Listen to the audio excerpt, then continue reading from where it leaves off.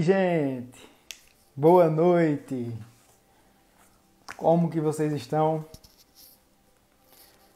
Vou aguardar um pouquinho vocês irem entrando. Hoje nós iremos conversar e pensar um pouquinho sobre missões, chamado missionário, uma reflexão para queimar os nossos corações nessa área tão importante para nós que somos cristãos. Então, Vamos entrando, pessoal, que hoje a live será sobre missões, chamado missionário, campo missionário, experiências em missões. Então, boa noite todo mundo que está entrando, boa noite. Permaneçam aqui, que será uma live maravilhosa, eu tenho certeza. Eu conheço a pessoa, a missionária que vai deixar uma reflexão, uma palavra nessa noite é, aqui comigo. Conheço pessoalmente, inclusive, foi ela quem me apresentou esse mundo de missões. Já fizemos várias viagens missionárias juntos, juntos e ela vai estar aqui para trazer uma palavra para os nossos corações a respeito disso, vai falar um pouco das experiências que ela teve. Ela que já foi para diversas nações, ela que já passou muito tempo em, em Guiné-Bissau, um lugar lá na África. Ela tem muita, muita coisa para falar, muita muita história e experiência que ela viveu em missões. São muitas nações, muita experiência e é muita unção. Ela é uma pessoa abençoada que tem, sabe, aquela pessoa que tem uma facilidade na pregação, que prega e você vê que o Espírito Santo está falando. É ela, Denise, Denise Neri. Então, pessoal, antes de, de chamar a Denise aqui para a nossa live compartilhada, é, hoje eu postei uma foto, não sei se vocês viram no feed, algumas fotos no feed, de uma viagem em 2016. Ela estava nessa viagem em 2016. As únicas fotos que eu tenho da viagem são aquelas. Eu perdi é, o, a pasta que tinha no meu HD e aquelas foram as fotos que me restaram da viagem do Equador. Então, se vocês não viram essa foto, depois vocês vão lá, comentem, curtam.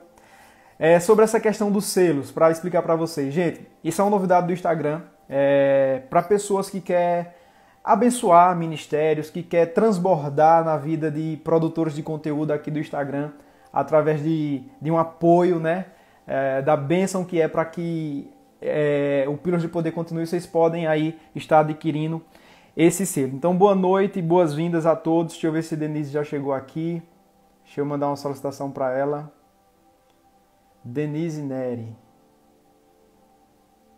Enviar solicitação. Então, gente, de onde vocês são? Vamos conversando enquanto ela chega. Kailane, Natália. Deixa eu ver aqui. É, tem também umas perguntas que vocês mandaram.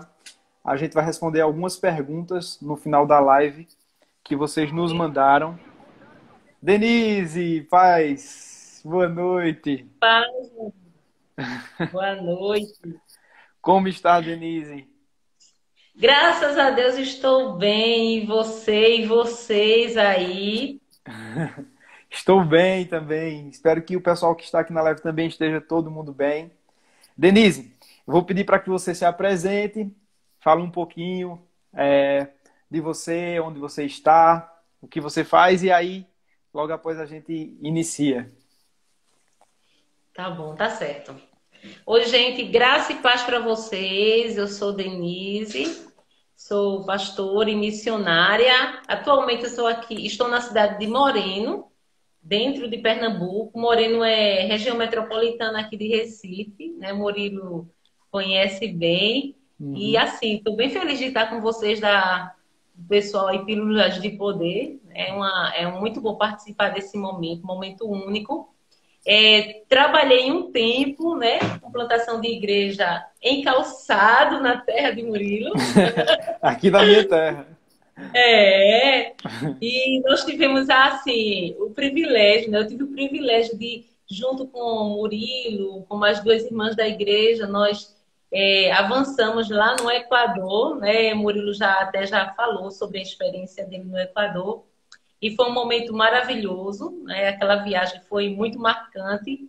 E durante um tempo eu morei dentro de Guiné-Bissau, certo? Uma aldeia. Eu morava a leste, no leste de Guiné-Bissau, numa aldeia chamada Sitiambote. É uma aldeia de muçulmanos, ah, vou dizer assim, 99,95%, porque a porcentagem de cristãos dentro da aldeia era, era mínima mesmo. E eu passei, eu acredito, quase quatro anos lá. A primeira vez que eu fui para Guiné foi em 2007. Então, eu fiz uma viagem de um mês, um, uma viagem missionária de curto prazo. E essa viagem missionária de curto prazo me impactou. Foi uma coisa assim, muito forte. Né? Naquele momento ali, Deus ministrava ao meu coração para desafiando a ficar naquele país durante um ano. Foi muito forte. Porque os planos de Deus, Deus ele não precisa dizer a gente tudo de uma vez só. Né? Era um desafio de um tempo e cada tempo Deus ia confirmando mais um tempo e mais um tempo. E louvo a Deus por poder fazer parte desse momento, né? Ali dentro de Guiné-Bissau. Não só eh, eu trabalhava com aldeia, mas tinha mais duas aldeias próximas e davam assistência. Era muito trabalho para um número resumido de pessoas, né? Porque a gente pensa assim que esses países, ah, não, mas Guiné-Bissau tem um número grande de evangélicos. Tem. Só que tem muitas aldeias para serem alcançadas, certo? Muitas. Eu dava, era em Sintiambote, onde eu morava, tinha outra aldeia perto, chamada Sorilumbato, tinha outra chamada Sitiael, e tinha uma que a gente estava alcançando, chamada Durubali. Mas, assim, era. Gente via muito trabalho, mas era muito gratificante. Uhum. ver o, o avanço do reino de Deus, né? Hoje eu louvo ao Senhor porque tem dessas pessoas né, que estavam em Sitiambote. Hoje tem até um rapaz que está em João Pessoa, estudando seminário, fazendo faculdade, crescendo aí de uma forma tremenda. A gente conversa de vez em quando. E outros jovens também em outro lugar, também levando dentro de Guiné a palavra, é, espalhando o reino de Deus. E é uma das coisas gratificantes. Né? Quando eu voltei logo, é bem interessante, quando eu voltei, eu fiquei muito triste porque depois de um tempo eu soube que tinham acabado com a igreja em Sorilumbato. Sorilumbato não é uma aldeia totalmente de muçulmanos é uma aldeia de muçulmanos Sim. e uma aldeia de animistas, né? É, esse povo animista é aquele povo que é, tem muitas feitiçarias e acredita em várias coisas, tem muitos rituais. Então, é uma aldeia misturada. E a maioria da igreja em Sorilumba era do povo animista. Uhum. E fiz, construímos ali, né, levantamos um templo. E depois, quando eu voltei, eu acho que foi cerca de seis meses por aí, é, os muçulmanos tomaram o templo. Meu Deus. Acabaram, riscaram, é, acabaram com tudo. E eu fiquei triste até o momento, né? Até o momento. Mas quando eu vi que aquelas pessoas dali, aqueles cristãos ali, eles estavam frutificando, aí eu pensei, Deus, realmente a tua igreja, ela não é destruída. O não templo para pode ser destruído, mas a igreja do Senhor, Amém. ela não é destruída. Então, quando você vê alguém queimando a igreja, queimou realmente o templo. A igreja não, a igreja não para. É, e a igreja está muito maior, porque tem jovens que foi para outra aldeia, está trabalhando para o reino, tem outro que se juntou com missionários, está trabalhando para o reino, e a obra de Deus é assim. Né? Continua, continua. A gente entender que a igreja do Senhor não é destruída. Amém. As portas do inferno não prevalecem, né, Denise? Não prevalece, de jeito antes, nenhum. Denise vai continuar falando, mas antes dela entrar na palavra, na reflexão que Deus colocou no coração dela, eu vou pedir aqui, se tiver alguém da nossa igreja, coloca lá no grupo que eu esqueci de falar, que a pastora Denise, a missionária Denise, está trazendo aqui uma reflexão sobre missões. Chame o pessoal para essa live. Eu incentivo você também que está aqui, que tem um grupo da sua igreja, um grupo de jovens, uma célula que, que queima por missões. Mande essa live, compartilhe essa live para vir para cá, porque Denise vai trazer uma palavra. Depois nós vamos responder algumas perguntas que vocês mandaram, muitas perguntas boas. Então fiquem aqui com a gente. Eu tenho que falar, né? Tá? sabe, sabe sim. Gente, Denise, ela foi a pessoa que me apresentou esse mundo de missões. Quando eu me converti realmente, eu cheguei aqui na igreja que ela estava plantando aqui na minha cidade, a Igreja Batista Pentecostal, e aí caí logo de cara em, em um mini curso sobre missões. Ela falava muito de missões, e aí Eu, Natália, Patrícia, a gente fez um curso com ela e aí eu me apaixonei por esse mundo. Fui para uma primeira viagem missionária voltei transbordando assim, porque aquele, aquela coisa que eu falei no, no post que eu fiz hoje, né? A gente vai para dar, para servir, mas a gente volta cheio de uma forma que só Deus. Então, grato a Denise é. por me apresentar esse mundo de missões, o chamado missionário, por interceder por quem está no campo missionário, porque também a gente vai ver que missões não é só ir, é interceder, uhum. é ajudar, é patrocinar missionários, é, é, é, sabe, é ajudar de outras formas também. Então, Denise, fica à vontade, a palavra está com você e é isso. É muito bom contribuir para isso, viu, Murilo? Para assim saber, né? que contribui um pouquinho, né? Sim. Deus é maravilhoso porque ele chama. Sem ele, como, como tem lá em João 15, a gente não pode fazer coisa alguma. Nada. É. Né? E aí, eu, assim, antes de falar um pouquinho da experiência, eu quero só trazer uma, uma breve reflexão, porque se não for a palavra, você vai sair, vai continuar do mesmo jeito, certo? Verdade. Mas a palavra de Deus é ela que realmente traz um impacto na nossa vida, é a palavra que, que muda, é a palavra que fala o nosso coração. Então, por causa da palavra, na, na primeira vez que eu passei muito tempo fora em obra missionária, que foi com o pessoal da Juvep para o sertão de Piancó. É, em um dos devocionais eu estava lá no quarto e eu comecei a ler a Bíblia e eu comecei a chorar, lendo a Bíblia, sentindo um chamado muito forte da parte de Deus naquele sertão de Piancó. Então foi uma viagem marcante com a Juvep. A Juvep sempre faz esse tipo de viagem, eu não sei agora na pandemia, mas sempre costuma fazer. E a palavra de Deus, né? a leitura da palavra, foi a palavra que realmente me chamou, me convocou para algo maior, algo que eu não esperava. Algo que Deus tinha falado há muito tempo, mas não sabia nem como é que ia ser. Uhum. Mas vamos para ela, né? É, na verdade, eu quero só trazer uma reflexão sobre chamado, certo? Nós fomos chamados para alguma coisa. Você foi chamado, foi chamada para alguma coisa, chamado por Deus, certo? E esse chamado, eu comecei, estava pensando sobre isso hoje. É, eu pensei em três coisas, três a quatro, né? A última tem duas coisas dentro dela, mas eu pensei em, nesse chamado que Deus, ele primeiro, ele primeiro nos chama para pertencer a Ele, certo? Eu queria que você, inclusive, marcasse esses nomes que eu vou, vou dizer aqui, esses três pontos. Você foi chamado para pertencer a Cristo, para ser exclusivo dele.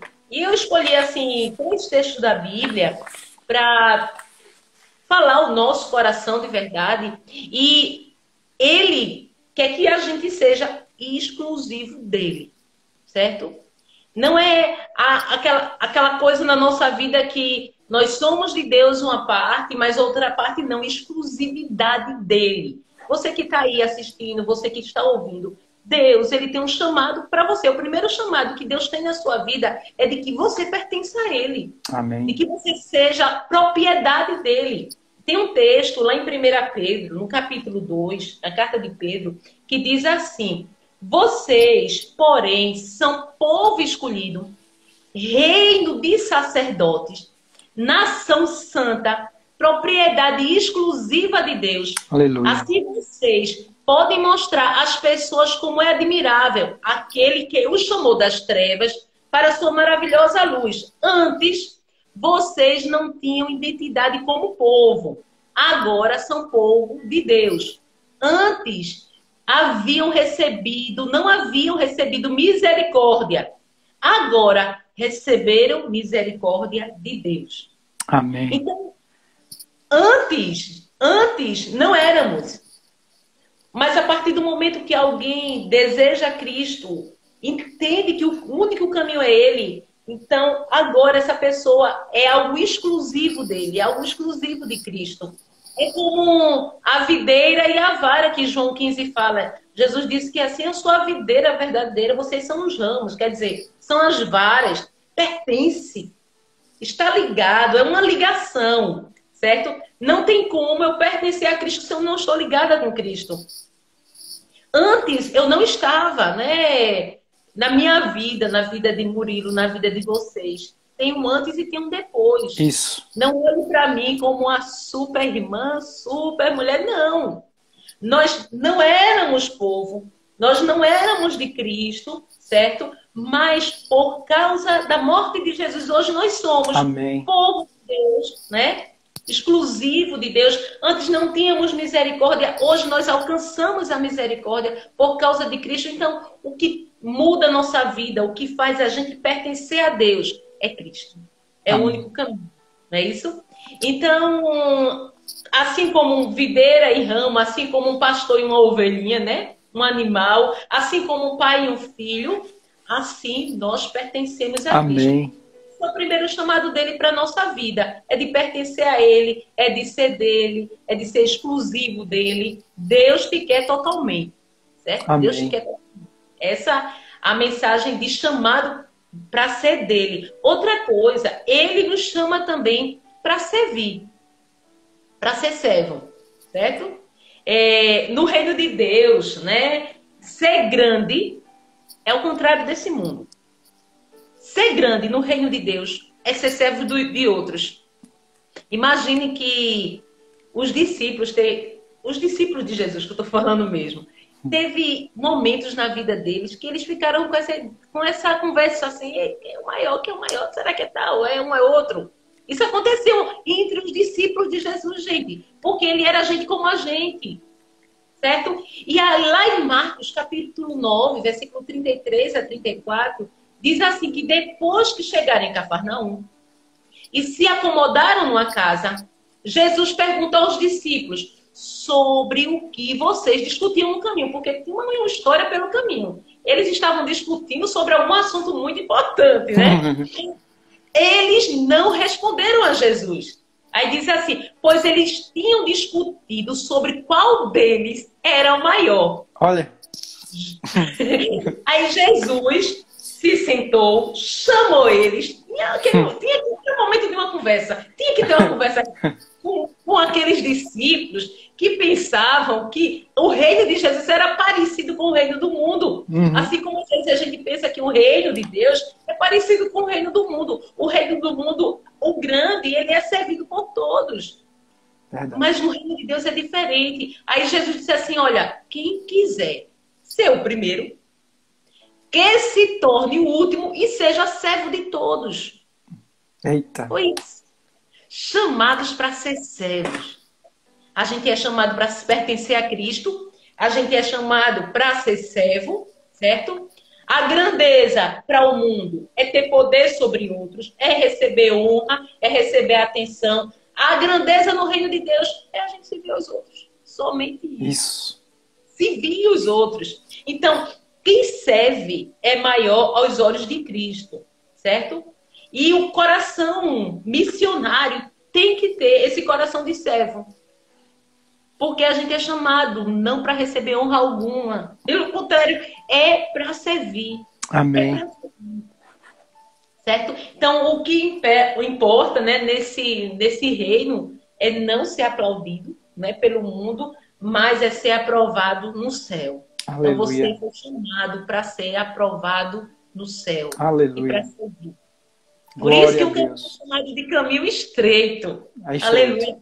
É estreito. É diferente, o reino de Deus é diferente, os padrões do reino é diferente. Mas ainda bem que é diferente.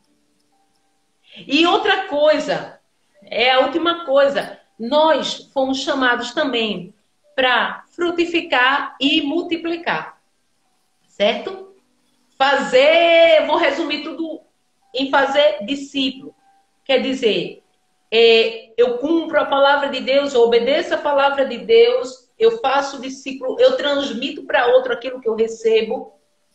É a multiplicação. O reino de Deus é o reino que chama os seus servos para multiplicar, para chamar mais servos, Sim. certo?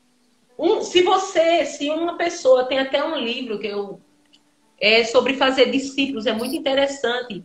É, ele mostra realmente que se nós fizermos um discípulo não fica em apenas um discípulo, porque quando a pessoa de verdade se torna um discípulo, ele quer fazer outro discípulo. Fazer outro e outro, é. Ele quer fazer outro. O fazer discípulo é diferente daquela pessoa que, ah, eu ganhei, eu foi bom, a pessoa aceitou Jesus agora, glória a Deus, é, é muito bom que aconteça. Mas o fazer discípulo é eu investir tempo, certo? É orar, é eu estar presente, é aquilo que Jesus fez, convivência. Uhum. Jesus ele multiplicou o seu reino, ele, ele transmitiu para os seus e os seus fizeram coisas extraordinárias. Fizeram. Por quê? Porque se tornaram de verdade discípulos. Aí Jesus, certa vez, está lá em Mateus capítulo 28, esse versículo é bem interessante, né? Esses versículos. Vai falar sobre esse chamado de Deus para nós, para frutificar, para multiplicar.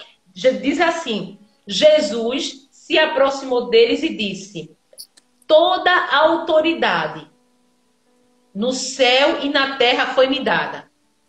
Portanto, vão e façam discípulos de todas as nações, batizando-os em nome do Pai, do Filho e do Espírito Santo. Ensine esses novos discípulos a obedecerem todas as ordens que eu lhes dei. Olha aí.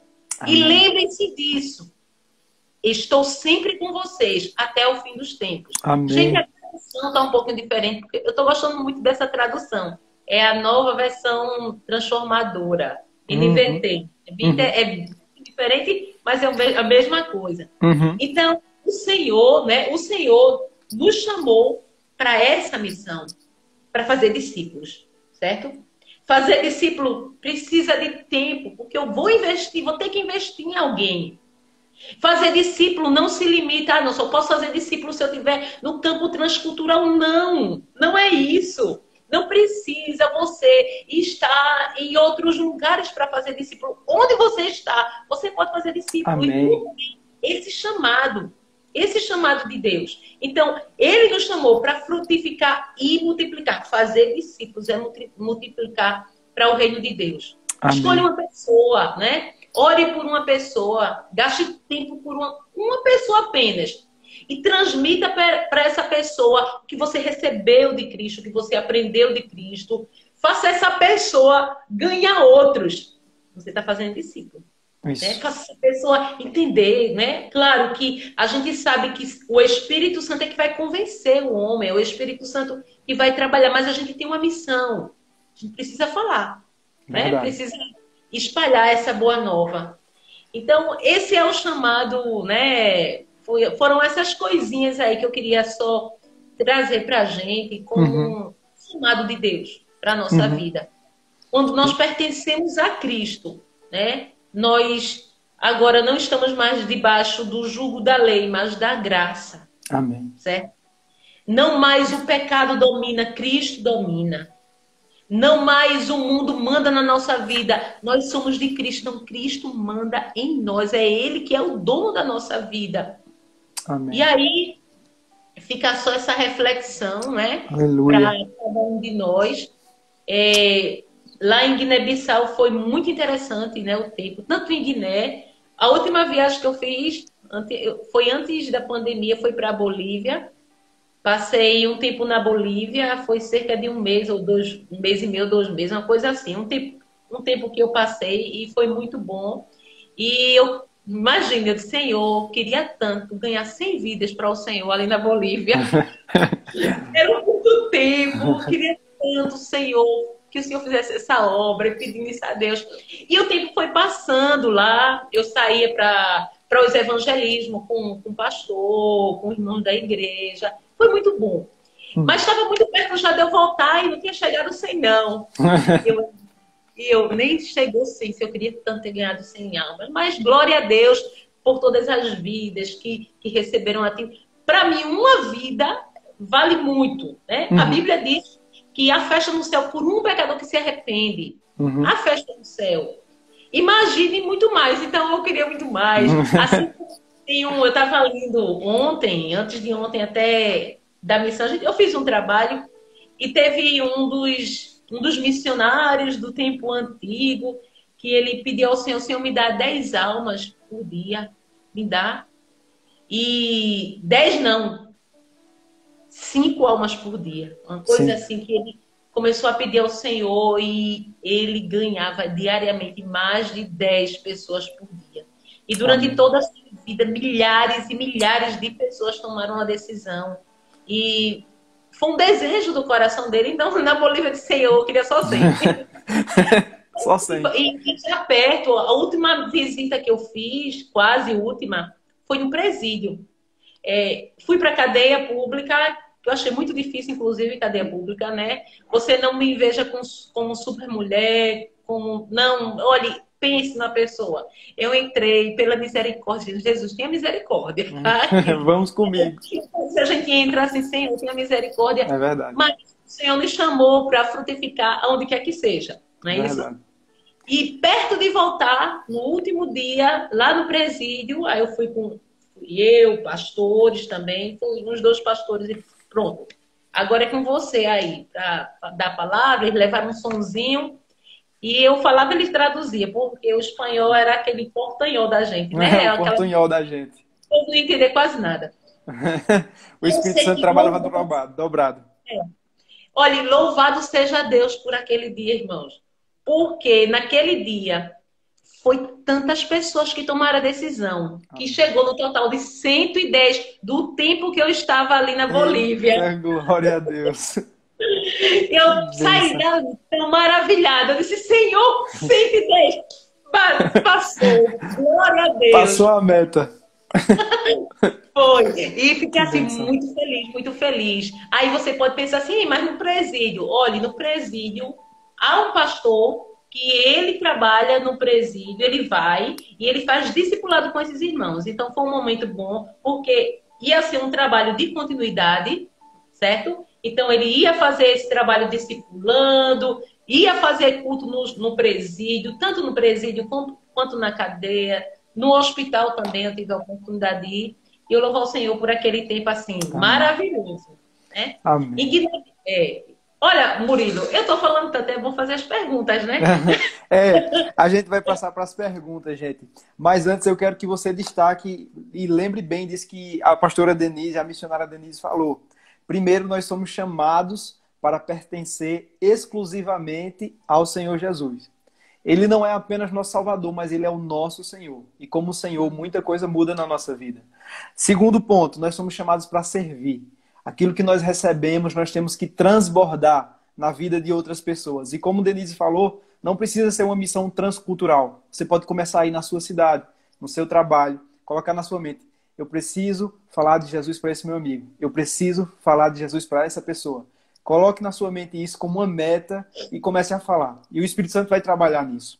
O terceiro ponto que ela destacou é: a gente é chamado para frutificar e multiplicar. É fazer discípulos é acompanhar. Porque se nós fizermos um discípulo, esse um discípulo vai fazer outro discípulo, esse outro discípulo vai fazer outro discípulo, e assim o reino do Senhor avança para todos os lugares da terra, e dessa forma acontece aquilo que Abacuque fala, né? Que toda a terra se encherá do conhecimento da glória de Deus, assim como as águas cobrem o mar. Somente dessa forma, se cada um de nós tivermos essa consciência. Então, destaquem essas três coisas: pertencer exclusivamente, chamados para servir e chamados para frutificar e multiplicar. Poderoso isso. Então, gente, a gente vai passar para umas perguntas que vocês mandaram. Eu vou pegar aqui a primeira pergunta. Deixa eu ver aqui. Quem foi a primeira pergunta?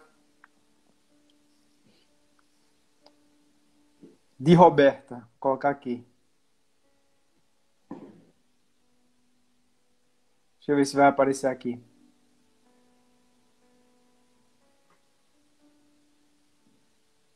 Vamos falando aí, pessoal. Vocês estão entendendo? Estão escutando a gente bem?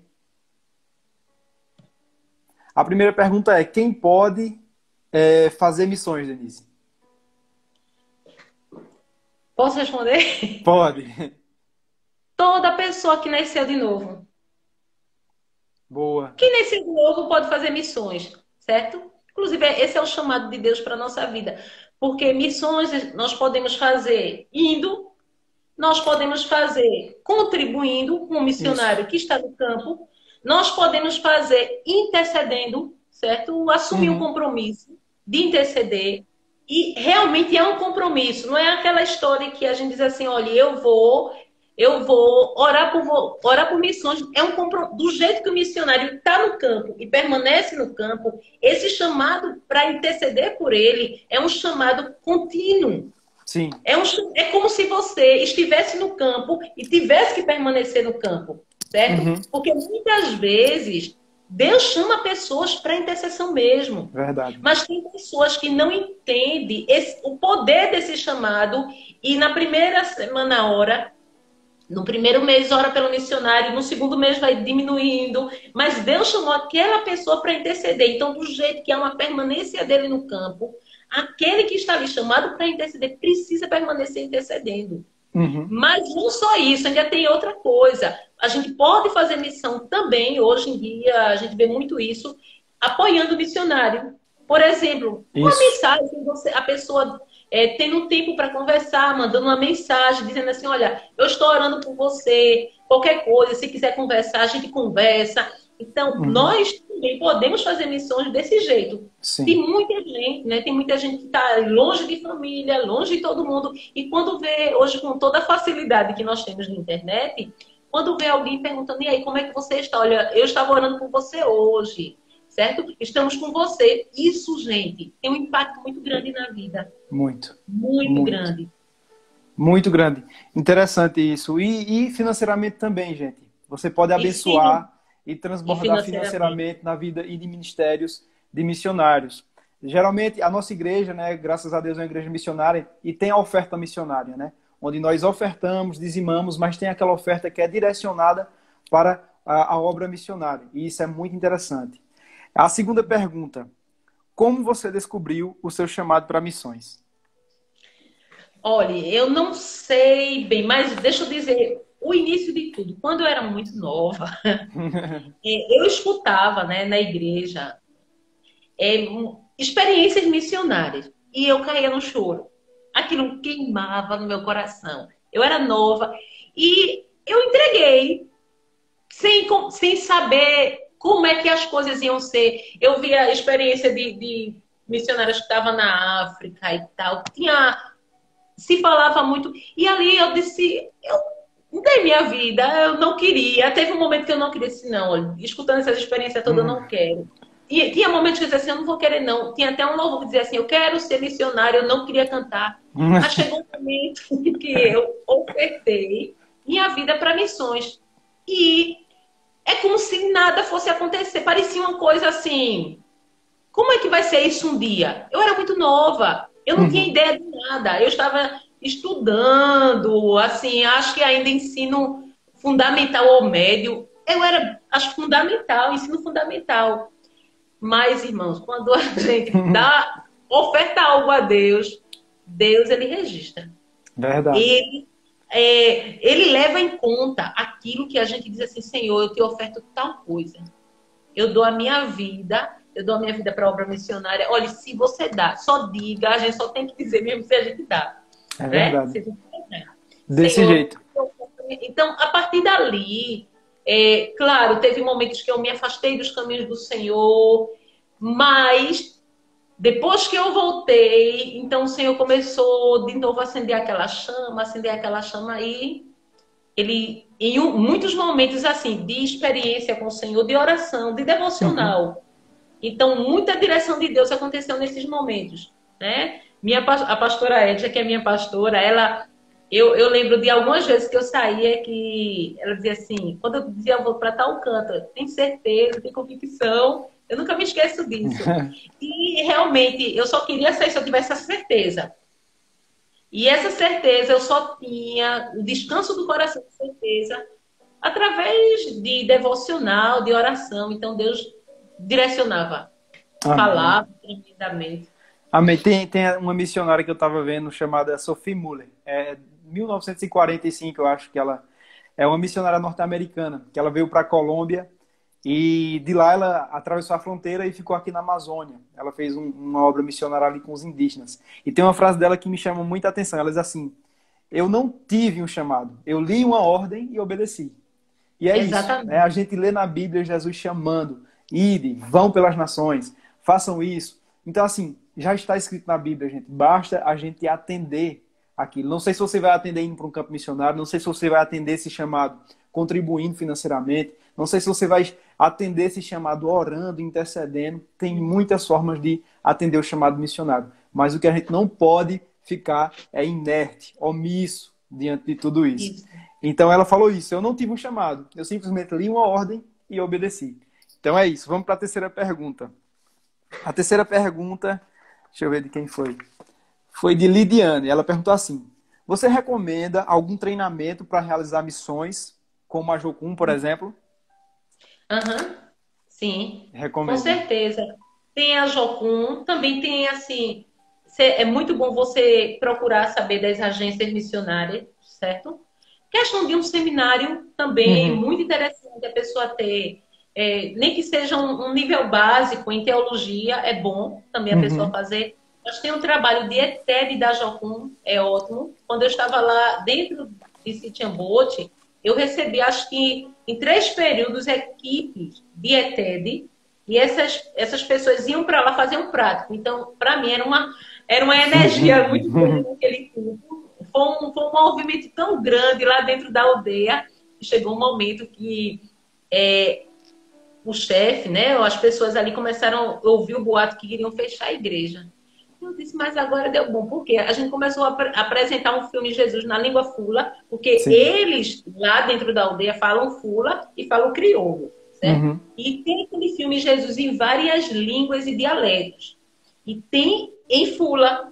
E nós apresentamos o filme Jesus em fula com o pessoal da Jocum, fizemos peça na feira e eles queriam fechar a igreja. Eita. E daí, assim, eu tive só a oportunidade de conversar com o chefe e dizer, olha, tudo bem, a gente fecha. A gente, estou escutando que estão querendo fechar a igreja, não tem problema, a gente vai fechar a igreja. Vamos fechar a escola, porque a missão lá tem uma escola e tem um, feito um, um posto de saúde. Vamos uhum. fechar o posto e vamos para outro lugar fazer esse trabalho que a gente faz. Então a gente fala, em fechar a escola e fechar posto, que beneficiava a comunidade, uhum. não, de jeito não faça isso não.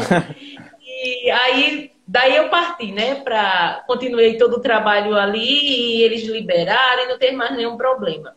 Uhum. Então, tem muitos treinamentos que, que tanto é teórico como é prático. E é muito bom esse. O ET da Jocum, certo? Tem missões, tem a missão Amém ou EC, né? Missão EC. Tem uhum. alguns treinamentos aí que é interessante. Muito interessante. Então, gente, ó, tem muitos treinamentos, muitas agências de missões sérias que vocês podem procurar e se preparar para ir. Porque é. a, gente, a gente na igreja, através de Denise, da pastora Ed, a gente faz algumas missões independentes, né, Denise? É, uhum. Não tem nenhuma agência de viagem, é a pastora Denise mesmo que organiza, com a pastora Ed, com todo, toda a equipe de missões. Mas se na igreja de vocês não tem um ministério de missões assim, vocês podem procurar se informar em agências de missões, treinamentos é, que é, é muito bom se preparar para ir antes de. Hum. É porque, assim, por exemplo, hoje, hoje eu estou filiada à MCE, é Missão Cristã Europeia. Porque para cada localidade tem uma missão específica, uma agência. Para a Europa, a MCE, eu me filiei a ela, é muito boa. Então, toda terça eu tenho reunião com eles, tem esse Sim. acompanhamento. Tem a missão Fronteiras, certo? Que é uhum. para aquele lado dos povos não alcançados, aquele lado da, da Ásia, eles uhum. trabalham muito bem. Então, tem missões voltadas para América, para Europa, para África, certo? Então, Verdade. a missão Antioquia, muito boa aqui dentro, uhum. voltada tanto para o campo transcultural quanto também para o sertão nordestino. Uhum. Muito bom missão Antioquia. Então, para cada localidade, a gente tem muito bom. Denise, quarta pergunta de Carla. Para ser missionário, precisa ter dinheiro? Minha, é... Deus é Olha, a fonte, né? É, Jesus, ele, ele chamou, não é? é? Quem é missionário não é rico. Alguns, né? É uma mistura. Quando Jesus chamou os doze, tinha aqueles que tinham dinheiro? Tinha. No meio tinha. Gente que tinha dinheiro. E tem aqueles que não tinham. Porque esse não é o foco, certo? Imagine que a pessoa que está convocando cada um de nós é aquela pessoa que é o dono do mundo inteiro e o dono do ouro e da prata. Isso. Então, alguém vai se prontificar e vai. Uhum. Mas tem aquele que vai se prontificar e vai dizer assim, irmão, você vai, eu vou lhe ajudar financeiramente para que uhum. você vá. Porque o uhum. missionário que vai, ele tem que comer, ele tem que vestir, ele, é ele vai ser uma pessoa integral no campo, uhum. certo? Então vai ter aquele que vai orar, vai ter aquele que vai cuidar. Então não precisa ter dinheiro. Se tem um chamado, né? Entrega a Deus, vê o que pode fazer, pede para Deus abrir a porta. Então tem muita coisa que a gente pode fazer, né? E a igreja em si, a igreja que compreende a missão de envio, compreende essa missão, essa missão mesmo, que é a missão uhum. da igreja, porque isso não é uma missão pessoal, né? Você, a quem vai, é a igreja indo. Isso. Certo? É, é como se fosse o braço da igreja lá no outro, no outro canto. Você está sendo a igreja em outro lugar. Isso. Então não se preocupe com isso, que essa parte é com Deus. Exatamente. A Natália perguntou aqui, é, mesmo que a pessoa tenha chamado, ela precisa fazer algum curso? Natália, é recomendável, mas não uhum. é, vamos dizer assim, necessário, né, Denise? Isso. É, é, é recomendado, porque eu vou lhe dizer, como nós somos, a gente não é Deus, certo? Isso. Nós temos emoções. Então, por exemplo, quando você chega no campo transcultural, você não está com sua família, você não está com seus amigos, você está em um lugar que você não conhece língua, não sabe de nada. O que é que acontece? Se você vai ser, vai passar um bom, um longo prazo, diferente do curto prazo, né? Uma viagem de curto prazo não, não exige muita coisa da uhum. gente. O de longo prazo, ajuda de um curso, de uma preparação é para que a gente se sinta mais confortável no campo. Uhum. Por exemplo, você vai chegar lá, vai ter um momento que você vai ter o que se chama de choque cultural. O que é choque cultural? É coisas naquela cultura que é muito diferente daquilo que você experimenta. Chega o primeiro mês. O primeiro mês a gente vai ter aquela alegria tão grande, é tudo é novidade, tudo é foto, é foto à vontade. Uhum. Quando dá o segundo e o terceiro mês, a saudade vai vir arrostada, como a gente diz aqui, né? Vai apertar. Então, o preparo, o preparo ajuda a gente a entender, inclusive, essas etapas que a gente vai passar. Uhum. Exatamente. A antropologia cultural ajuda a gente a entender que nós vamos passar por algumas etapas. Uhum. Você vai passar pelo choque. Tem algo que se chama de romance, que é logo quando você chega no campo, é o romance, que tudo é muito lindo, tudo é novo. Mas depois vem saudade e vem é, choque com a com a própria comida e você está com saudade do seu cuscuz que está lá no Brasil, até do cuscuz. Olha, do cuscuz a gente sente tanta saudade, vocês nem imaginam. E quando eu ia para Guiné, eu levava todo o pacote de, cuscuz, de fubá. Na minha uhum. bolsa, que sobrava de quilo, eu ia botando bota fubá, porque lá não tem cuscuz. então, o curso, certo? Tanto você dá um, estudar um pouco de antropologia, outras coisas, ajuda, sim, para você. Uhum é, Perfeito. Se preparar para você conhecer a própria religião do local. Isso. Você ter conhecimento. Então, contribui muito. Muito bom. Gente, a gente está focando mais em missões transculturais, mas eu posso falar aqui também das, das missões mais curtas. Né? Eu, por exemplo, eu nunca fui para ficar um longo período, como o Denise já foi em várias vezes. Eu geralmente vou nas minhas férias, eu vou em feriadões, quando a igreja se organiza, eu vou é, nessas missões mais curtas. E nessas missões, o que, é que a gente faz? A gente faz um período de consagração, né, Denise? De busca, uhum. de oração. É, tem um, um, um, mini curso, vamos dizer assim, da gente dizer se a gente encontrar com uma pessoa de tal religião, como é que a gente fala? Se a gente uhum. encontrar com uma pessoa de.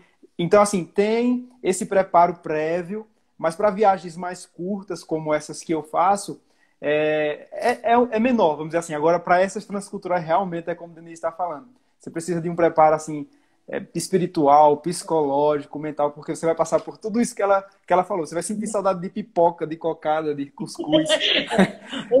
e, e vou lhe dizer uma coisa: mesmo você tendo todo o preparo, certo? Você pode se preparar Verdade. de uma forma assim, fazer tudo que tem que fazer. A ida tem que ser na dependência do Espírito Santo. Nenhum preparo Total. vale é sem essa dependência do Espírito Santo. É Por é quê? Porque a gente se sente zerado, mesmo que se prepare, se sente zerado. Uhum. Tem que ter em todo momento uma dependência dele. Certo? Porque a gente, é a ovelha no meio de lobos. É. Mas Jesus disse que sobre a nossa vida tinha autoridade, certo? Uhum. Tinha autoridade dele. Exatamente. A próxima pergunta é de Kailane. Ela diz assim: Qual a sensação de fazer missões? Maravilhosa. Maravilhosa. É verdade. É, é, a sensação. Muitas vezes eu parava assim, é, lá em lá em Guiné tinha muita, uma parte verde, parecendo um campo. Assim, quando eu ia sair, aquela coisa que você via assim, meu Deus, eu tô aqui. E você tem a sensação que você está no lugar certo, no tempo certo, fazendo a coisa certa. Uhum. É essa sensação. É você estar tá no lugar certo, no momento certo, fazendo o que é certo. Uhum. E é algo maravilhoso. É, realmente, eu também posso falar que é, eu, quando vou para uma missão assim, é cansativo, é puxado, mas a gente volta assim transbordando de alegria. Por tudo que Deus permite que a gente vivencie nessas viagens, por tudo aquilo que a gente vê o Senhor fazendo na vida das pessoas. Então, assim, é, é maravilhoso, meu irmão. Eu assino embaixo aí no que a pastora Denise falou. É maravilhoso. Próxima pergunta é de Patrick Eduardo. Eu acho que, que não é uma pergunta, é mais uma afirmação. Tenho vontade de fazer missão, mas não tenho recursos. Prego por onde eu vou. Amém. Certo, Pregue, né? né? E se você tem esse chamado mesmo, né? Converse com sua liderança para tra é, traçar algumas estratégias, alguma coisa assim, certo? E Deus com certeza vai direcionar, vai direcionar tudo. Exatamente, exatamente. É. É, outra pergunta é de Ana Maria. Ana Maria está aqui participando com a gente. É, como eu posso ajudar o trabalho missionário na prática, seja presencial ou por outras vias? Certo. É, o trabalho missionário hoje, é, Deus abriu uma grande porta que são as redes sociais, viu? É o que Murilo, inclusive, está fazendo aqui com Pílulas de Poder. Uhum. Você pode ganhar quem você quiser do mundo inteiro. Verdade. Hoje em dia nós temos, através das redes sociais, um alcance que você não tem ideia. Verdade. Então, você pode ganhar pessoas de países não alcançados, certo? Você pode fazer muita coisa. Aonde você está presencialmente, quem tem a oportunidade, faça presencial também. Isso. Certo? Faça, é, converse, evangelize, fale da simplicidade do evangelho. O evangelho é algo tão simples, então, fale da simplicidade, invista. Se você é, puder, invista em algum missionário que está Isso. no campo transcultural, oferte. Você uhum. não pode falar agora, mas você pode ofertar. Exatamente. Então, são coisas práticas que hoje a gente pode fazer, certo? E é, não tem desculpa para dizer assim, olha, eu não, não, não tem como fazer. Quando nós pedimos ao Senhor oportunidades, né? Ora ao Senhor, diga, Senhor, me dê oportunidade me deu uma pessoa, eu estava meio agoniada esse tempo. Com esse negócio dessa pandemia, a gente uhum. quer ir na, do mesmo jeito que estava antes, mas não pode, né? Tem distanciamento. Eu estava, Senhor, preciso tanto de uma pessoa para fazer discípulo, Senhor, para cumprir essa palavra de fazer discípulo. Me dá uma vida, me dá uma pessoa que eu possa investir. E louva a Deus porque Deus me deu uma pessoa e essa pessoa é a pessoa que eu tenho acompanhado esse tempo. E creio que Deus vai fazer uma obra na vida Amém. dela. Amém. Glória a Deus, exatamente. E uma última pergunta para a gente finalizar. Se vocês tiverem mais perguntas, mande aí. É, o que falar nos evangelismos, Denise? O que a gente ah. fala nos evangelismos? Eita! Imagine, né? Eu pensei agora, daqui a pouco tem, tem Van, Van Lima, vice Murilo. Pronto, vou anotar essa aqui de, Van, de é. Vanessa. Vou anotar. É. O que fala no evangelismo? Imagine que quando o, o irmão o Cornélio, né, lá em Atos capítulo 10, Cornélio, é, Deus deu uma visão a Cornélio para que ele ouvisse de Pedro uma mensagem. Uma mensagem que Pedro tinha que estar lá na casa de Cornélio para ele ouvir essa mensagem. E Pedro foi. E a mensagem que Pedro levou para Cornélio é a mensagem que a gente leva para o pecador.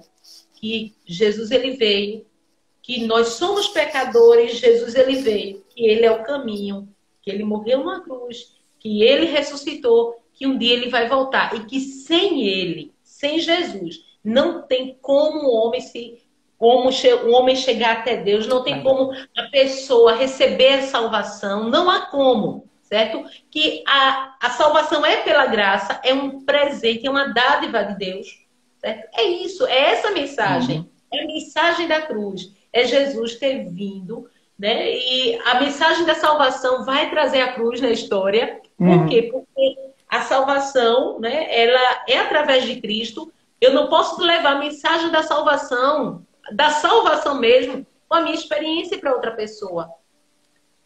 Quando eu falo experiência, são essas experiências. Vamos dizer assim que Deus fez um milagre ali, uhum. uma pessoa uhum. Não. A salvação, a mensagem da salvação vai trazer a cruz, a cruz de Cristo. Isso. Jesus, ele morreu no nosso lugar e ele ressuscitou, certo? Amém. Então, somente por causa dele. Se você leva para um pecador essa mensagem, você está pregando o evangelho. Exatamente. Então, foi isso que Pedro disse a Cornélio. Foi isso que as multidões, né, no dia de Pentecostes, ouviram ali, que eles ouviram sobre Jesus, que ele veio, que ele morreu, que ele ressuscitou. E aí, o que é que a gente tem que fazer? Pedro disse: arrependam-se e creiam no Evangelho. Isso. Então, é, é, é a simplicidade mesmo do Evangelho. Uhum. É a palavra que a criança vai tomar a decisão de seguir Jesus, o adolescente vai tomar a decisão, o idoso vai tomar a decisão de seguir Jesus, o adulto, qualquer pessoa entende. Um senhorzinho que ele ia lá para casa todo sábado, lá em Guiné, e ele levava uns ovos, ovos de capoeira, hum. e todo ele vinha de longe, aquele senhor. Ele tinha cerca de, de 90 anos por aí. Eita. E teve um sábado, só que ele falava totalmente fula, né? Eu tinha dificuldade com fula. E eu disse, e a gente conversou, eu mandei me traduzir, se fala para ele do evangelho comigo. Eu vou falando, você vai traduzindo. E começou a falar, falar do evangelho, e ele disse assim: "Nunca os meus antepassados falaram sobre isso". Oh, que forte. Meu Foi Deus. Muito. E aí eu perguntei: "Você quer Jesus? Você crê, quer acreditar e crer, colocar toda a sua fé em Jesus, porque nele tem salvação, nele tem perdão de pecados?" Porque para um muçulmano você tem que, sempre que falar sobre o perdão de pecado, certo? Isso aí vai atrair muito eles. Uhum. Então você quer e ele naquele dia ele tomou a decisão. Aleluia. Louvado seja Deus. Glória né? a Deus. Ele tomou e, e, se entregou, porque ele achou assim a, a, mensagem que ele nunca ouviu na vida dele. E eu louvo ao Senhor, né? Por poder compartilhar com ele Amém. aquela mensagem. A mensagem do Evangelho é fantástica. Que é bênção, que bênção. Glória a Deus. A mensagem é como Denise falou aqui. É simples, a simplicidade do Evangelho. É Jesus no centro, sempre. É a cruz Isso. de Jesus e o poder que ela tem para nos levar até o Pai, até o céu. É. A pergunta de Vanessa, Denise, foi assim: alguma sugestão de viagem missionária para julho desse ano? Olhe, é, tem. Agora sim, muitas agências estão pararam um pouco por conta da, da pandemia.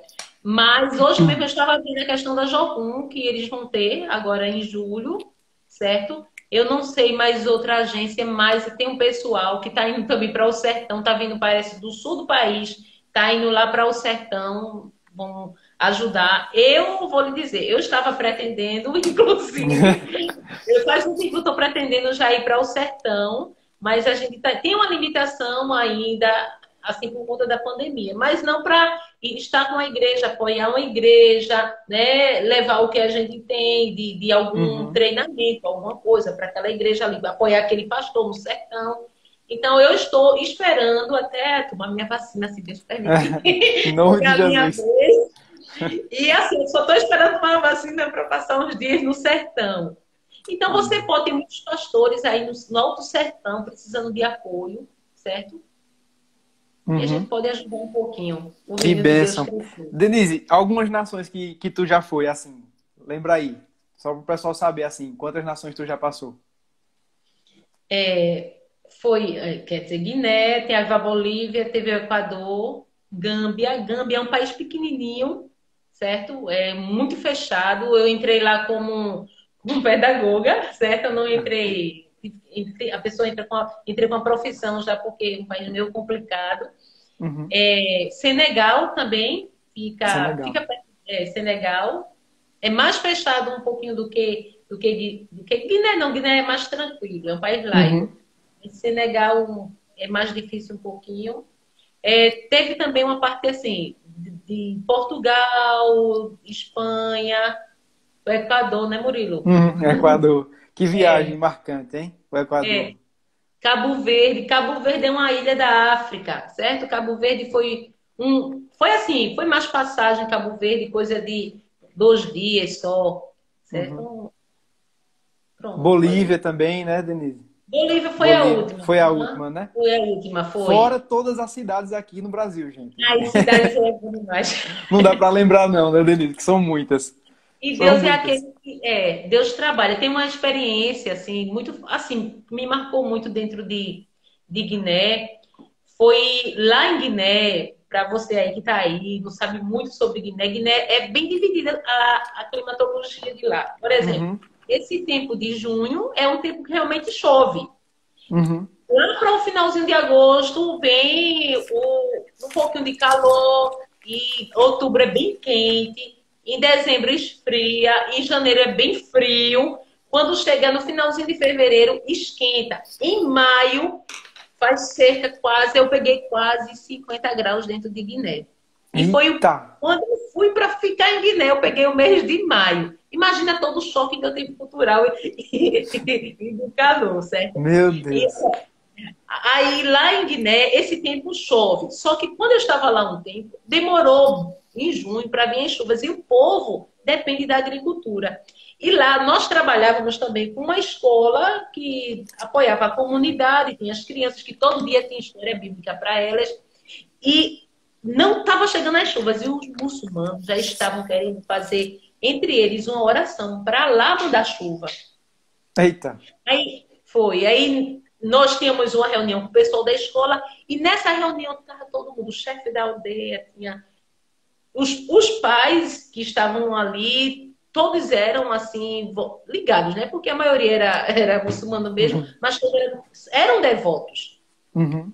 E nesse caso, a gente começou a reunião seguinte: gente, a gente está vendo a situação, está muito séria, vocês precisam plantar. Então, não só eu era evangélica, mas tinha os professores crentes, né? E se a gente vai começar essa reunião e vai pedir a Jesus para mandar chuva. Uhum. Gente, um zum, zum, zum, assim. Aquela besta. Como você fala uma coisa que todo mundo fica assim, cochichando? Eu disse, ou agora eles me pegam, mandam, ou mandam embora, ou então vai ser aceitar para sempre. Ah. E ali nós oramos e tal. Eu e os professores, a gente orou para iniciar a reunião. E nesse dia eu viajei para outra aldeia, fui, fui embora para casa de um missionário. E de lá, alguém ligou para mim, quando eu estava lá. Denise. Ai, Denise, é que eles me chamavam de Denise.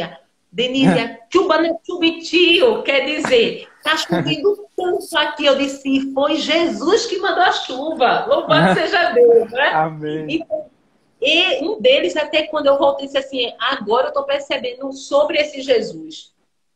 Porque naquele exato dia, Deus mandou chuva para aquela terra. Porque toda autoridade está em Jesus. Amém. Né? Então Ele é muito um bom ver Deus fazendo as suas obras. Amém. Né? Eu vou responder aqui uma pergunta de Natália que ela mandou. Eh, Natália, eu vi aqui tua pergunta. Foi assim. É, Murilo, qual o lugar e país que te marcou muito e foi uma experiência forte com Deus? Essa eu, eu já tive muitas experiências aqui no Brasil, né? Mas uma que me marcou muito foi no Equador mesmo. Foi lá onde eu tive a minha experiência, vamos dizer assim, pentecostal. É, foi em um momento de oração é, meu no, no quarto lá que eu tive a minha primeira experiência com línguas. Então, assim, fui recebi o Espírito Santo de uma, de uma maneira muito linda e ali eu tive a minha primeira experiência com línguas, que é uma oração sobrenatural, né? Uma linguagem de oração sobrenatural para edificação pessoal e quando conciliada com interpretação de línguas serve mais ou menos como uma profecia. Então, assim, essa foi uma experiência muito marcante no Equador em 2016 que eu nunca vou esquecer e que até hoje usa essa ferramenta né, como uma, é, uma ferramenta de edificação pessoal, assim como Paulo fala, né? aquele que ora em línguas edifica a si mesmo. Então, foi muito forte isso. Acho que Vanessa mandou mais uma pergunta. Precisamos, Denise, precisamos estar em uma igreja que tenha visão missionária, que tenha esse trabalho. O que fazer quando congrega em uma igreja que não tem esse foco? Essa é boa. É. O que você vai fazer? Fique na igreja e leve a visão para a igreja. Contagie. Boa. Muito Contagie. Bom. Certo?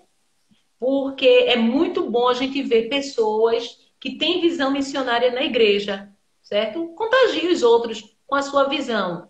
É, provavelmente tem pessoas ali que a gente às vezes nem sabe, que também tem visão missionária. Né? Eu louvo a Deus pela, pela visão missionária assim da igreja, então se torna mais leve para a gente. Se Verdade. torna mais leve. Quando a igreja não tem visão, é mais difícil um pouquinho, mas ore ao Senhor, dedique tempo para orar. Porque a história realmente de missões mostra que teve momentos que a igreja, a igreja cristã, parecia que estava morta. Certo? Parecia que tinha acabado. Mas Deus levanta uma pessoa, duas pessoas. Isso. Levantou o movimento, lá na Alemanha, o movimento morável, certo? Alguns irmãos começaram a separar horas, diárias para orar. Houve um derramado do Espírito Santo, uhum. né? E eles decidiram que o fogo não ia apagar. E toda vez que há esse mover do Espírito Santo, quando ele se movimenta, o resultado é missões. Não tem para onde correr. Né? Eu estava lendo esses dias agora um, um, livro de Duvalina, Duvalina Bezerra, da missionária Duvalina a missão, a missão de interceder. E é muito interessante que ela fala de. É como se fossem três coisas que andassem junto: oração, avivamento, obra missionária. Amém. Certo? Então, é, a maioria dos eventos da história da igreja aconteceu exatamente nessa proporção. Muita oração. A igreja orava, a igreja orava. Deus avivava. Esse avivamento realmente não é aquele, aquele momento apenas, mas é, um, é aquele momento junto com um desejo de agradar a Deus, de querer estar perto dele, Amém. de ter relacionamento com ele, de querer mudança de vida. E esse desejo, a pessoa, é como se se envolvesse com Deus de uma forma tão grande que a pessoa é levada a fazer missões. Por quê? Porque missões tem a ver com o desejo de Deus. Isso. Então, é muito interessante que no decorrer da história da igreja existiu momentos que a igreja não estava bem. Mas uma pessoa se levantou, duas né, se levantaram para orar. Né? Tem a história de João Russo, João Wesley, uhum. né? Hudson Taylor, tantos uhum. e tantos outros que se levantaram para orar, para interceder. Gente, Deus faz muita coisa quando uma pessoa Amém. só se coloca na brecha, se coloca nesse local de intercessão por missões pelo mundo. Então, uhum. não fique aí na igreja, certo? E ore, ore Isso. tempo e contagie. Contagie Amém. a sua igreja, você vai ver. Você vai dizer, mas eu sozinha, você sozinha. Faça isso. Né? Amém, Porque é verdade. Dois homens, nações inteiras foram contagiadas. Aleluia. Isso é muito forte. Então, imagine, né? Uma é. igreja. Com certeza vai Glória. ser contagiada. Deus é Amém. maior. Glória a Deus. Ângela está perguntando aqui: o que fazer quando os filhos querem fazer missões? Incentivar? Dê glória! é mesmo, viu? É o maior Ai, desejo que uma mãe deve ter, certo? No meio cristão. Era era para ser o maior desejo de quando o filho disse assim, eu quero fazer missões, não é? Quando o filho diz assim, eu quero fazer missões, a maioria, né? Vou dizer a maioria dos pais é, ficam assim, com o coração apertado. Mas se o filho disser assim, olha, eu vou estudar porque eu quero ser um médico, há uma alegria muito grande. Ah, ele quer ser um médico. Quando o filho dizer assim, olha, mãe, eu quero fazer, eu quero ser um juiz. Ah, que coisa boa. Louve a Deus e agradeça a Deus. Se seu filho disser assim, mãe, eu quero fazer missões. Uhum. Porque é ele não vai apenas marcar a vida dele, ele vai marcar lugares, pessoas, certo? Pessoas vão ser contagiadas, pessoas podem conhecer o evangelho do reino através do seu filho. Então é a maior honra. A mãe de João Wesley, ele foi ele, foi ele mesmo. Ela gastava duas horas no dia, né? Eu estava lendo sobre ele também, gastava lendo, meditando na palavra. E John Wesley, ele pegou esse, esse, essa prática da mãe e levou para a vida. Até na faculdade ele não parava, né? Ele não saía sem fazer, sem ter esse momento. E Deus usou esse homem tremendamente. Então, uhum. Então, se você, Ângela, tem sua Sim. filha aí querendo, agradeça a Deus, dê um culto de gratidão, porque é algo maravilhoso. Incentive Amém. mesmo. Faça de tudo. Boa noite, Suelene. Ela está dando aqui a paz do Senhor, pastora Denise. Suelene. Boa noite. Então a gente já está encaminhando para o fim. Eu vou ler aqui alguns versículos de Marcos 16. Se você tiver com a sua Bíblia, Marcos 16, alguns versículos. Após esse texto, a pastora Denise vai fazer uma oração. E se ela quiser falar mais alguma coisa também, fica à vontade, Denise.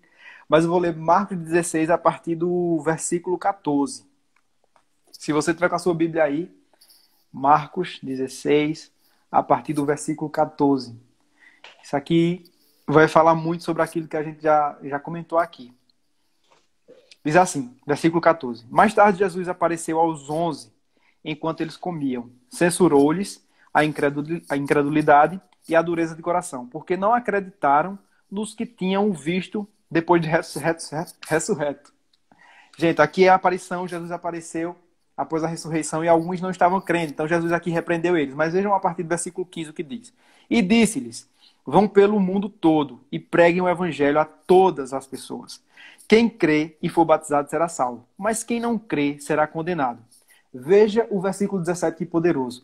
E esses sinais acompanharão os que creem. Em meu nome expulsarão demônios, falarão novas línguas, pegarão em serpentes, e se beberem algum veneno mortal, não lhes fará mal nenhum.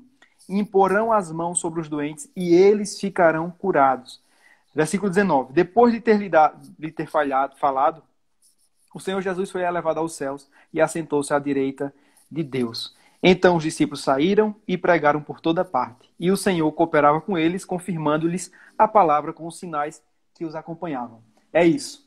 Quem decide crer e obedecer nessa palavra, os sinais miraculosos, os milagres acompanharão.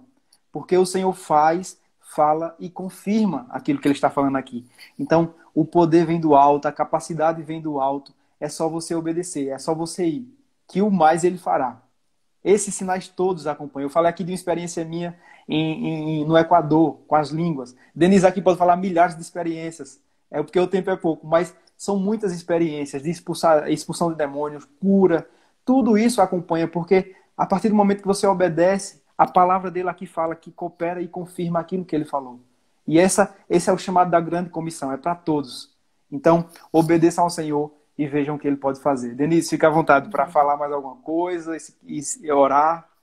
Certo. Então, assim, se aqui, né, no nosso meio, você ainda não teve uma experiência com Cristo, certo? De pertencer a Ele, você pode fazer isso hoje, certo? Ele é maravilhoso. Não existe algo no mundo ou uma pessoa que se compare com a metade daquilo que Deus é. Não existe.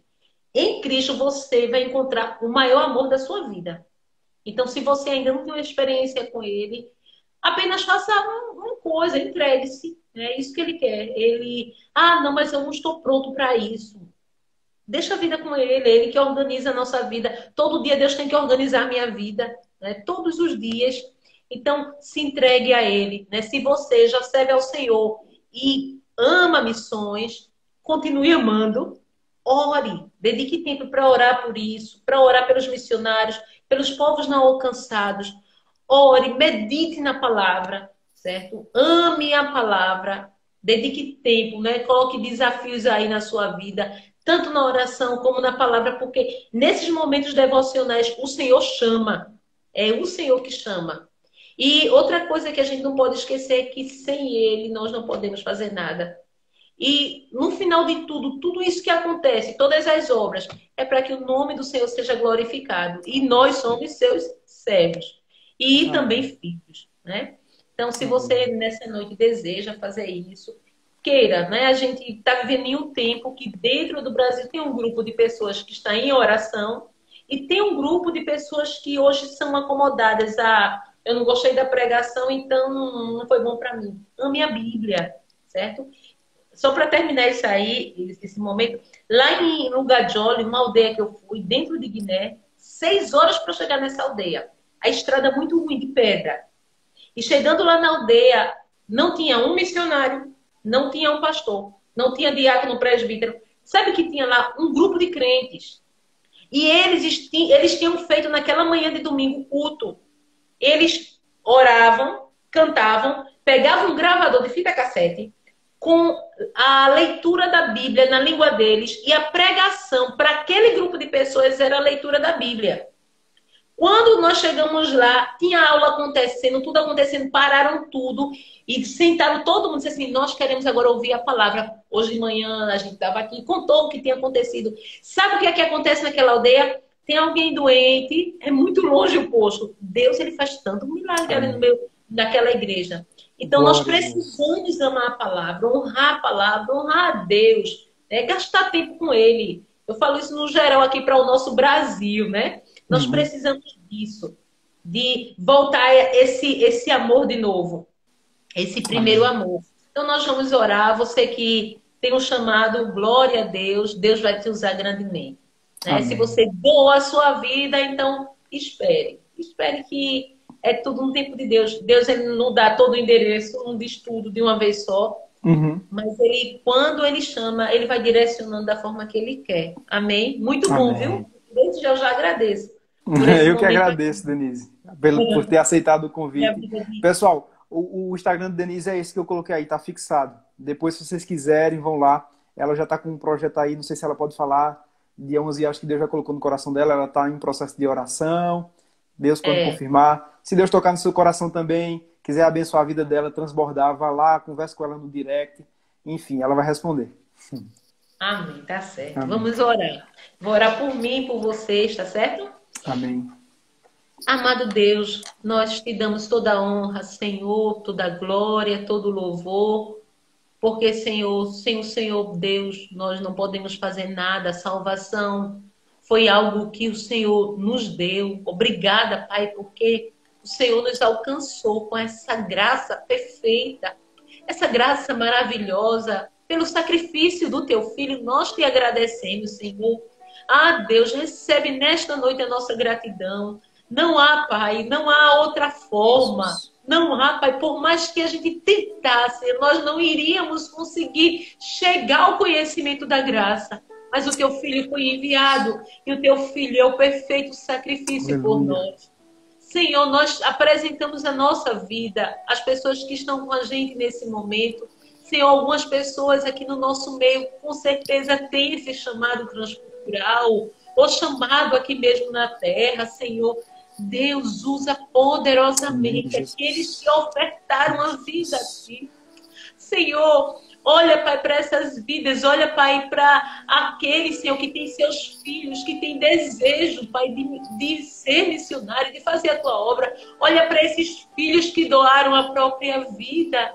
Olha, Senhor, para cada pessoa nesta noite. Deus, e marca, Deus, na tua agenda. Se é que o Senhor tem agenda. Marca no teu tempo. Pai, para que cada propósito do Senhor se cumpra na vida dessas pessoas, leva para os países não alcançados, leva para as nações, Senhor, que carecem do Senhor, que carecem de ti, Deus, leva pessoas, desperta a tua igreja aqui no Senhor, levanta obreiros, o Senhor mesmo nos ensinou que a gente pedisse ao Senhor da Seara que enviasse trabalhadores para a tua Seara. E nós nessa noite clamamos a ti, levanta trabalhadores para a tua Seara, Pai, no nosso meio aqui, em nome de Jesus. Ah, Deus, nos ajuda cada dia a fazer a tua vontade e a esconder a nossa vida atrás de ti, Pai, para que, assim como João disse, que o Senhor cresça e que a tua luz brilhe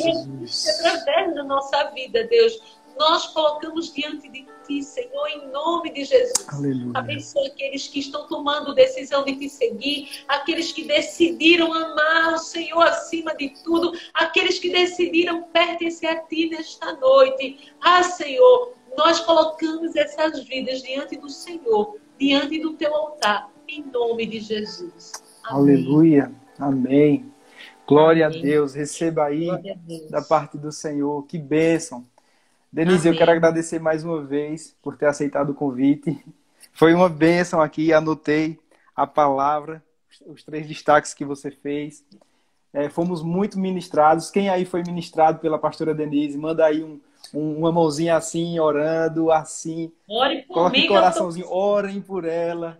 Orem por ela, pelo ministério que Deus colocou na mão dela, que é, é, frutifica muito. Denise é uma pessoa que onde chega, floresce. Denise, qual é o teu temperamento? Essa semana a gente fez uma live ah, de temperamento. Sanguíneo. Olha, o meu é aquele sanguíneo. E se brincar um pouquinho, Eu sou de Paulo. colérico.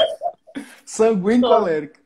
Eita! É, é um sanguíneo puxando colérico. Tem que ser, porque onde Denise chega, viu, ela, ela agita. Ela é desse Ai, jeito, ela não, não para. Então, gente, Ai. fiquem com Deus. Agradeço a todos vocês que ficaram com a gente aqui até o final. Aqui está o Instagram de Denise. Como eu falei, se você quiser conversar com ela, se você quiser abençoar a vida dela de alguma forma, vão lá no Instagram dela, falem com ela. Ela é uma pessoa 10, assim. Glória a Deus pela vida dela. Obrigado, Denise. Não sei não. Obrigado, Ai. Denise. Tchau, pessoal. Tá bom, Até a próxima, se Deus quiser. Deus abençoe vocês. Foi muito bom estar com vocês, tá certo? Valeu, Murilo. Tchau, Denise. Tchau.